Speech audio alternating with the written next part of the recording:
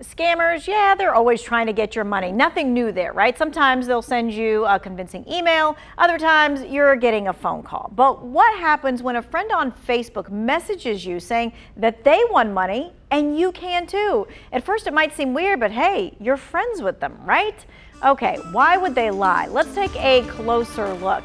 Scammers have figured out a way to pose as your friends and send you messages saying that you want a grant from a company or the government. But to get that grant money, you'll need to pay about $1,500 in fees. This, of course, is 100% scam. So here's what you need to do. First, you never give out account numbers or send money over Facebook. You want to meet your friend in person to make sure that they are the ones who are really asking for your help first. If you've sent any links over Messenger, be careful. You can hover your mouse over the link to show the full address in the corner of your screen to make sure that it really is coming from who it says it's coming from. Any misspellings or links that could end in .ru or .br, those are big red flags. And of course, make sure your account isn't taken over by a hacker. So what you want to do, change that password often.